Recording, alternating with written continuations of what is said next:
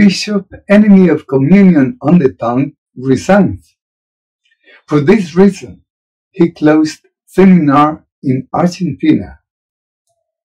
The leader of the Catholic Church, in an official statement from the Holy See, accepted on February 5th the resignation of the Bishop of San Rafael, Argentina, Monsignor Eduardo Maria Taussig, after a year and a half of the controversial decision that led to the closure of the diocesan seminary Holy Mary, Mother of God. In an interview published by the diocesan weekly The Buena Fe, the spokesman for the bishopric of uh, San Rafael, Father Jose Antonio Alvarez, indicated that it is public knowledge that the diocese has suffered a very important crisis, which even led to the closure of the local seminary. The bishopric of Saint Raphael has experienced a time of strong tension with an important group of faithful and priests.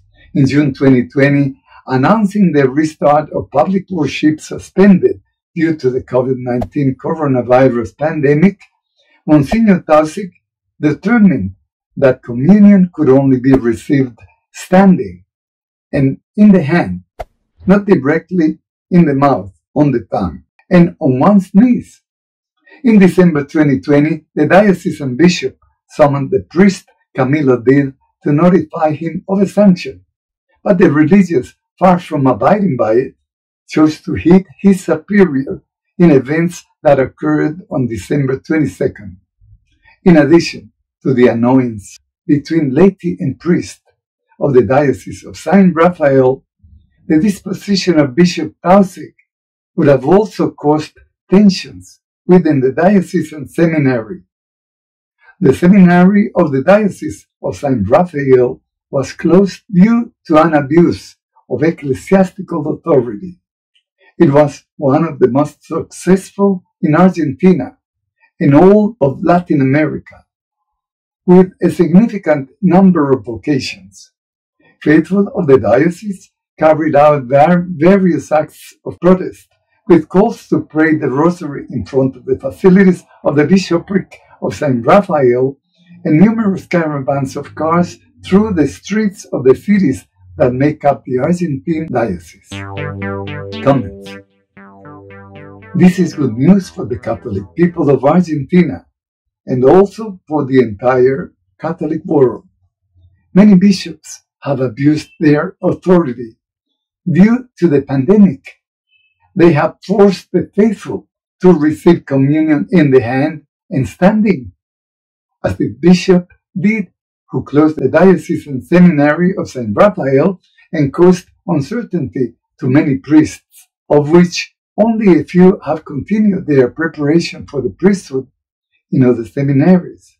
This abuse of Bishop Taussig in his diocese cost him physical blows from a priest, the rejection of his people, and now finally his position. Let us pray to the Lord to give us good priests, bishops, cardinals, and the good Pope. The church is in crisis. The devil is winning the battle. Communion in the hand and standing, as the bishop forced it, is a profanation of our holy worship. It is a serious offense against God that also hurts the faith of many good Catholics. Let us pray much that the Church seeks holiness and the adoration of Christ, truly present in the Holy Eucharist, not the convenience that clerics have managed to find due to the pandemic by distributing communion in the hand. If you like this video, please give us a like, subscribe to our channel The Work of God, share on social networks, and don't forget to leave your valuable comments. What do you think of bishops who do not listen to the faithful of their flock and who abuse their authority? God bless you.